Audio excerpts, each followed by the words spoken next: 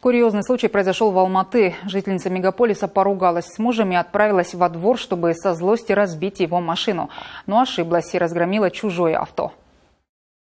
Подномерник вырвали, стекло разбили.